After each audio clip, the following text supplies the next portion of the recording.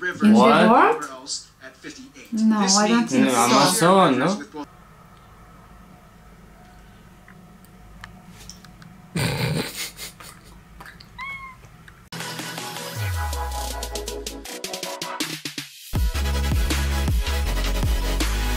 ah!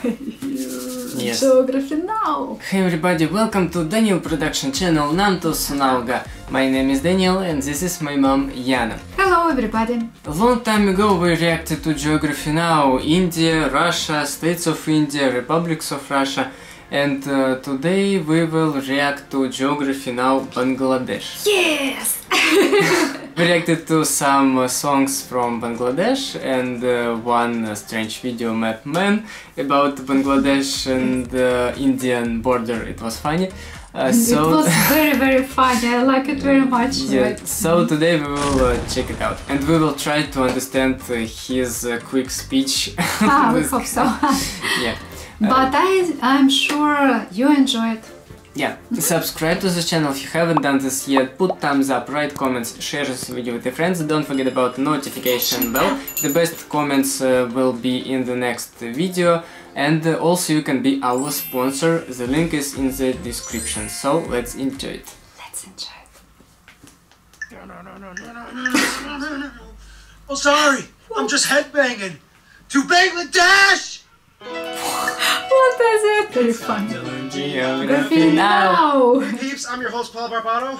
Insert intro thing because I didn't write anything. Let's dissect the flag. Like in Now, casino. you've probably seen this flag before and thought, who dipped the flag of Japan in a tub of algae? Mm, well, yes, it's not some in- green mutated version of Japan's flag, it's Bangladesh's. Essentially, the flag has a green field and red circle that is not in the center, but a little bit offset closer to the Oh, hoist. really? Yeah, it's And the reason for Yeah. this is so that it What? looks centered when the flag is waving in the air. Green represents the lush, fertile What? interior of the land of Bangladesh, and the red represents I the didn't know sun. Simple! Moving on. Okay. Okay. Now, this is going to be really fun because Bangladesh has some of the most confusing territories on the planet. First of mhm. all, the country is located in Asia, east of India, and almost completely surrounded by India, including that narrow little Siliguri corridor, or the chicken's neck of India, a small but reasonably sized border with Myanmar in the Myanmar. southeast, and the Bay of Bengal located to the south. The capital and largest city is Dhaka, located in the lower central region right above the Padma River and the Ganges Delta. Now, here at Geography Now, one thing we love are enclaves and exclaves because they are delightfully ah, it was- confusing. And it is with yeah. great honor that I present to you the country with the second most enclaves in the entire world, Bangladesh, right after India. When you hit the north of Bangladesh in the Rangpur region, all hell breaks loose, and suddenly you see this huge mess of territories that are sprinkled This around border, the entire border, yeah. owned and marked by each side. It gets especially But now messy when you it's go to the not north like of the this, Teesta yeah? River, by the Yes, I think town yes. Of I so. and see a smorgasbord of over 60 enclaves and exclaves scattered in a weird random order that makes no sense. Many of these enclaves Really? are first order and second order enclaves, that's enclaves inside of enclaves, and the world's only third order enclave, Dahala Khagrabari 51. A small crop field barely the size of two acres. This land is a piece of India within Bangladesh, within India. India in Bangladesh. talk about inception or landception. Dahala Khagrabari 51 is actually owned by a Bengali farmer who lives on the Bengali side, even though the land kind of belongs to India. Most of these enclaves are farmlands that were owned by families mixed in with the area long before the borders were drawn up by the British, which is why some areas don't relent their property to the other country. The Indian and Bangladeshi governments have announced their intentions to resolve the issue by swapping 162 enclaves by giving residents a choice of nationality. However, the process isn't really moving and is kind of stuck in a red tape limbo. As we'll soon find out, Bangladesh's land is shaped heavily by the landscape and immense river systems that flow through the entire country, like vital bloodstreams fostering life to the entire region. And by soon, I mean like right now. Last time we learned about Bahrain and found out that some countries have a Effects getting water. Well, Bangladesh kind of has the complete opposite problem, and they have too much water. One thing you have to understand is that? Bangladesh's largest resource is their rivers. In fact, the Bengal Delta is the largest delta in the world. and the country has really? more transboundary rivers than anywhere else at 58. No, this I don't think that so. Amazon, no? with both India and Amazon. Myanmar. Altogether, though, Bangladesh has about 700 main rivers, the largest ones being the Padma, or better known as the Ganges. Oh, really? India, and the Jamuna, It's or very the strange. Brahmaputra. Mm-hmm. This is actually pretty impressive considering that Bangladesh is only about half the size of the UK. Now, because of mm-hmm. all the rivers and the silt deposits, natural irrigation and land cultivation is amazing. Bangladesh is an ecological gem. In fact, some of the most fertile soil in the world is found in Bangladesh, allowing them to grow thousands upon thousands of different crops, plants, and orchards. One thing they're especially known for growing is jute. I actually had no idea what jute Mm. was prior to making this video, and then I found out it's actually the stuff they Oh, use to make ropes and burlap. See? Hmm. I'm just like one of you! I'm learning! Bangladesh is generally split up into two different separate regions.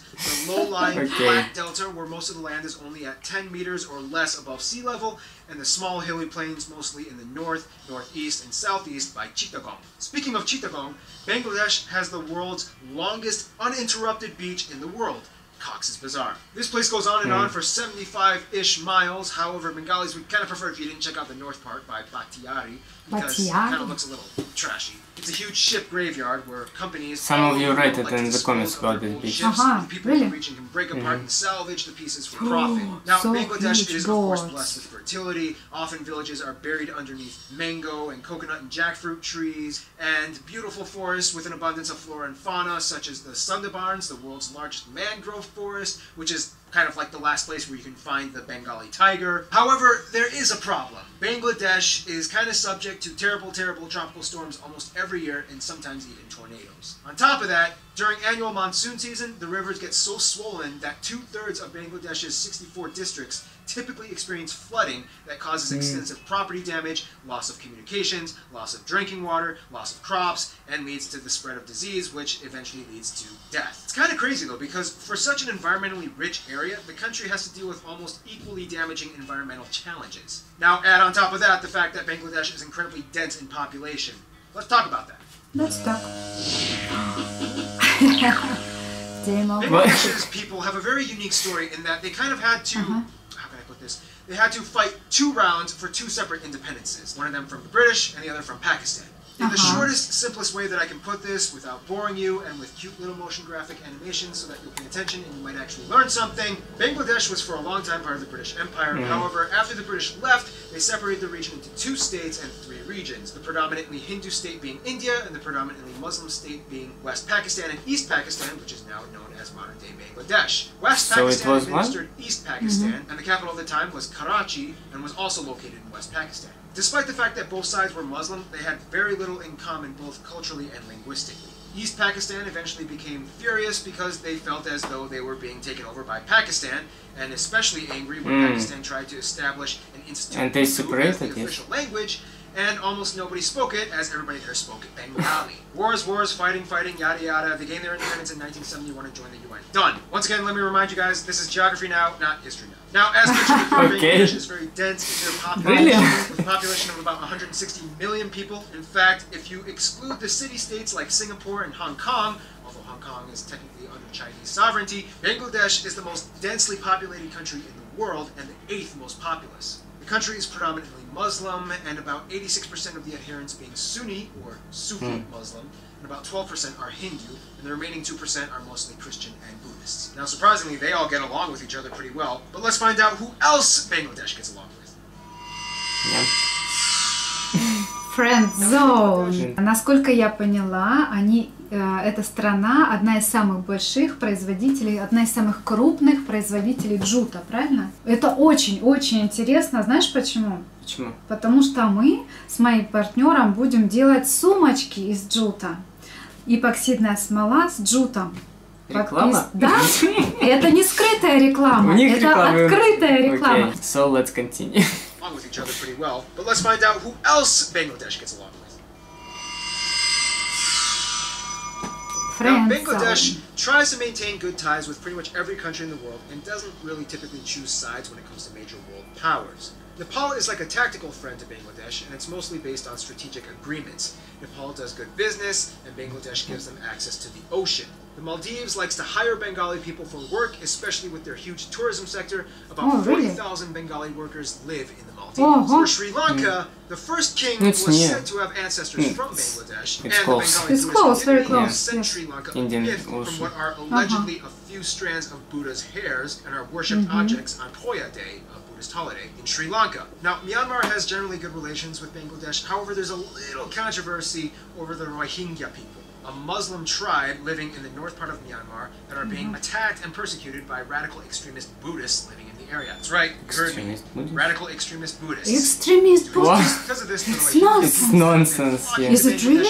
It can be. Which has been causing them more and more drama as an already overpopulated Why not? relatively poor country. The U.S. very was strange. and still is the largest aid provider for Bangladesh and is one of the top trade partners in textiles. One thing that Bangladesh is like really good at They making. I mean, have you seen the tags on the back of your shirts? It might just be from Bangladesh. However, Bangladesh is doing so well at developing their infrastructure that they've decreased their aid dependency from 85% in 1988 to about 2% in 2010. This is good for both countries. For the UK, yes, Bangladesh was part of the former British Empire, and even though they fought for independence and didn't like the British rule, British culture still permeated the Bengali culture over the years, and it is very evident even today. I mean, their favorite sport is cricket, they drive on the left side of the road, and English is the second most commonly spoken language. To this day, despite the historical tension, the two countries get along just fine and have strong diplomatic ties. In terms of their best friends, though, they more or less might consider Bhutan and India.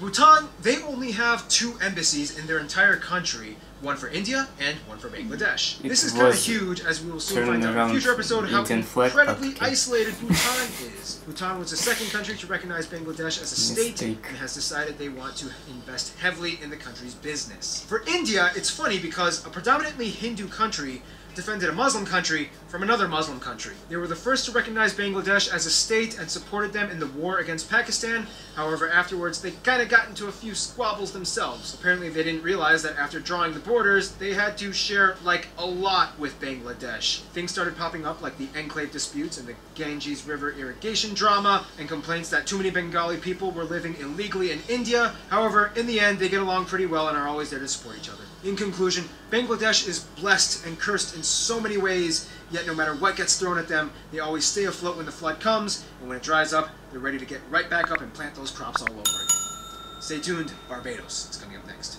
A lot, a lot of information. First of all, I wonder how he, как он держит столько Да информации не, в ну своей он по голове. суфлеру читает, это понятно. Да?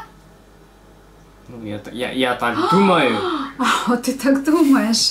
No, and no, uh, he, he- knows a lot, a lot of information and uh, do it very, very easy way. He's in studio, I think he has souffleur. What is in English souffleur? Ah, But anyways, uh, it uh, is very cool. It's very interesting to know about Bangladesh more because we didn't know anything. Uh, we know more about uh, India because we watch Indian movies and Yes, uh, yes. yeah. I've never been in Bangladesh and uh, I didn't know about it uh, so much. I just uh, hear a little, a little bit. But also, I've never been in India, of course. also, but um, you know, it's uh, very, как сказать, unknown, unknown, unknown. Unknown.